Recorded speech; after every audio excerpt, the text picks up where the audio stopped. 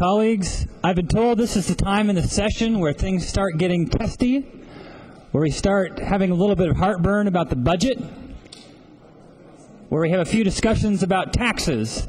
And I just like to encourage all of us to smile.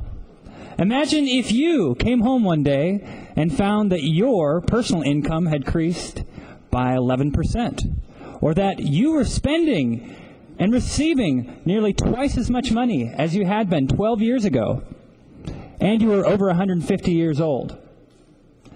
And that your business revenues were up 14% this year. You wouldn't be moping around your business, moping around your home, talking about how there was no money, how we can't get things done. But that's the position that we're in here. We have over a billion dollars in new revenue projected to come in.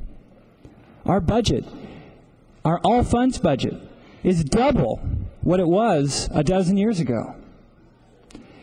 And a week before we started session, I talked to a veteran legislator who's no longer in the building. And I said, Do you have any advice for me? He said, Just remember this.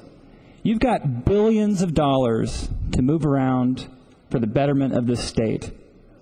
And you'll get to a point in the session where it seems like you can't get things done, like there's not enough money, like you have to go looking for more. But when that time comes, remember, you've got billions of dollars. Thank you.